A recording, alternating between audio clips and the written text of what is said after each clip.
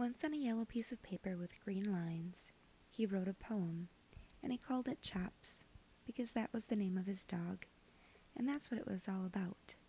And his teacher gave him an A and a gold star, and his mother hung it on the kitchen door and read it to his aunts. And that was the year that Father Tracy took all the kids to the zoo, and he let them sing on the bus, and his little sister was born, with tiny toenails and no hair, and his mother and father kissed a lot, and the girl around the corner sent him a valentine signed with a rows of X's. And he had to ask his father what the X's meant, and his father always tucked him in at bed at night, and was always there to do it. Once on a piece of white paper with blue lines, he wrote a poem, and he called it Autumn, because that was the name of the season, and that was what it was all about. And his teacher gave him an A and asked him to write more clearly.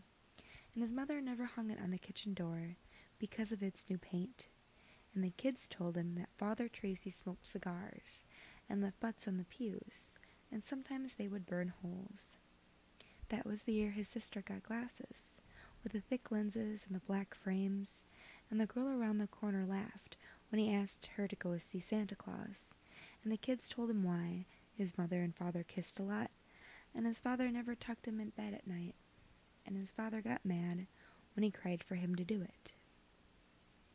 Once on a paper torn from his notebook, he wrote a poem, and he called it Innocence, a Question, because that was the question about his girl, and that's what it was all about.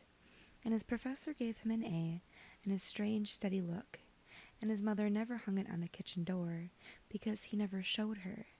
And that was the year that Father Tracy died, and he forgot how the end of the Apostles' Creed went, and he caught his sister making out on the back porch, and his mother and father never kissed or even talked, and the girl around the corner wore too much makeup, but that made him cough when he kissed her.